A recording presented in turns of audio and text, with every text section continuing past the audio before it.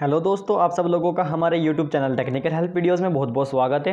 दोस्तों, आज मैं आपको बताने वाला हूँ बाइक्स के बारे में। जी हाँ दोस्तों, आप बी एस सिक्स बाइक आपने सुनी होगी दोस्तों लॉन्च हो गई है बी एस सिक्स की जो बाइक है दोस्तों, वो लॉन्च हो चुकी है। आप देख सकते हैं मेरी स्क्रीन पे बी एस सिक्स की दोस्तों ये है। पचास हज़ार रुपये से भी कम में दोस्तों आपको बाइक मिल जाएगी और आज दोस्तों मैं आपको दो बाइक के बीच कंपैरिजन करके बताऊँगा, आपको कौन सी बाइक खरीदनी चाहिए, कौन सी अच्छी है, कौन सी नहीं दोस्तों।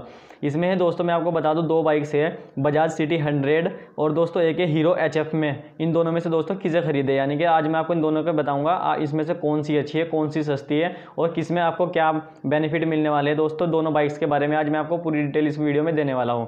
दोस्तों, बने रहे हमारी वीडियो में। अगर आपने अभी तक हमारे चैनल को सब्सक्राइब नहीं किया है तो प्लीज़ चैनल को सब्सक्राइब कर देना और वीडियो को लाइक कर देना। दोस्तों, आपको देख, आप देख सकते हैं मेरी स्क्रीन पे, यहाँ पे आप इस, ये है बजाज की सी टी और इधर है दोस्तों एच एफ़ डिलक्स हीरो की दोस्तों। ये दो बाइक है। आप यहाँ पे, मैं बता दूँ इसमें दोस्तों नीचे चलते हैं हम थोड़ा सा थोड़ा सा इसके बारे में हम यहाँ पे थोड़ा सा आपको सारी डिटेल दे देते हैं। यहाँ पे आपको इस बाइक के engine performance transmission suspension braking और डाई डायमेंशन के बारे में दोस्तों पूरा बताया जाएगा इस वीडियो में। अभी आप इस वीडियो को लास्ट तक देखना। आप नीचे चल दोस्तों इंजन के बारे में हम बात करते हैं।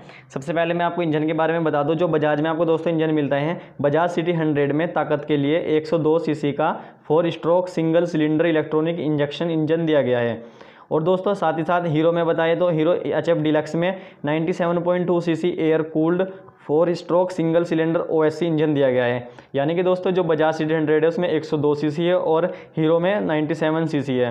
अब आप देख सकते हैं किसमें ज़्यादा है, कौन से आपके लिए बेटर है।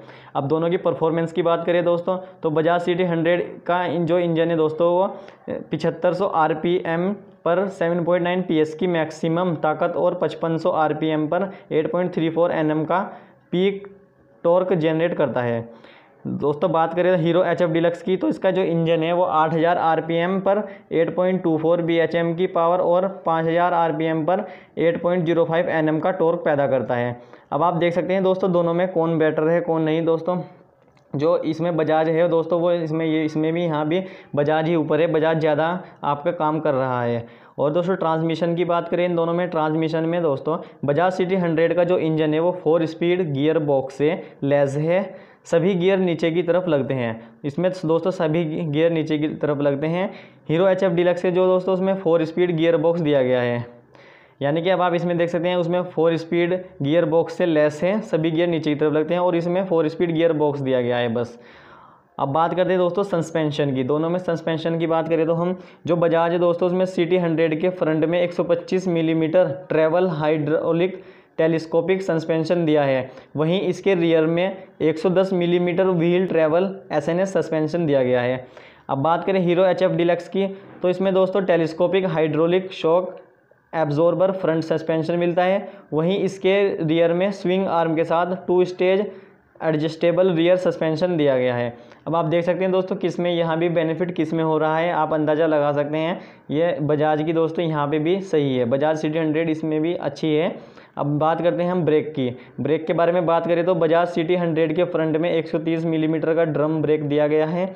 वहीं इसके रियर में 110 मिलीमीटर का ड्रम ब्रेक दिया गया है। सुरक्षा के लिए इसके रियर में सीबीएस फीचर दिया गया है। दोस्तों, आप देख सकते हैं इसमें सीबीएस फीचर भी ऐड कर दिया गया है। Hero H F deluxe I B S I three S में 130 मिलीमीटर mm का फ्रंट ड्रम ब्रेक दिया गया है और वहीं इसमें 130 मिलीमीटर mm का रियर ड्रम ब्रेक दिया गया है। इसमें भी सुरक्षा के लिए सीबीएस दिया है। दोस्तों, इसमें यहाँ तो ब्रेक में तो दोनों बेटर ही है दोनों में सीबीएस भी दिया गया है और दोनों में ब्रेक का सही है। अब बात करते हैं हम दोस्तों नीचे आ जाते हैं डायमेंशन की। डायमेंशन की बात करें तो दोस्तों जो Bajaj C T hundred E S और C T hundred K S L variant की लंबाई 1945 मिलीमीटर है, जबकि बजाज सी टी हंड्रेड के एस स्पोक वेरिएंट की लंबाई उन्नीस सौ पैंसठ मिलीमीटर है। वहीं Bajaj C T hundred E S की चौड़ाई सात मिलीमीटर है और Bajaj C T hundred K S variant की चौड़ाई सात मिलीमीटर है। बजाज सी टी हंड्रेड की ऊंचाई एक मिलीमीटर है व्हीलेबल व्हील बेस 1235 मिलीमीटर है। इसका ग्राउंड क्लियरेंस 170 मिलीमीटर है। अब बात करते हैं दोस्तों हीरो की। हीरो एच एफ़ डिलक्स की जो लंबाई है दोस्तों, वो उन्नीस मिलीमीटर mm है। चौड़ाई 720 मिलीमीटर mm है और ऊंचाई 1045 मिलीमीटर mm है। इसका व्हील बेस 1235 मिलीमीटर mm है। इसका ग्राउंड क्लियरेंस एक मिलीमीटर mm है। यानी कि दोस्तों, जो ये इसमें डायमेंशन की बात करें तो उसमें भी बजाज की सी टी हंड्रेड का ज़्यादा है। हीरो एच एफ़ डिलक्स के मुकाबले। इसका कम है और बजाज वाली का ज़्यादा है दोस्तों। अब हम कीमत की बात करें दोनों की तो दोस्तों, जो बजाज की C T hundred E S की शुरुआती दिल्ली एक्स शोरूम कीमत है दोस्तों। मैं आपको दिल्ली की बता रहा हूँ। बारह हज़ार सात सौ नब्बे रुपये हैं। जो पचास हज़ार चार सौ सत्तर रुपये तक चली जाती है। और दोस्तों, हीरो एच एफ़ डिलक्स की बात करें तो दिल्ली एक शोरूम कीमत इसकी उनचास हज़ार रुपये है, जो सत्तावन हज़ार तीन सौ रुपये तक चली जाती है। अब आप दोस्तों अंदाज़ा लगा सकते हैं कौन सी इसमें यहाँ भी बेटर है दोस्तों।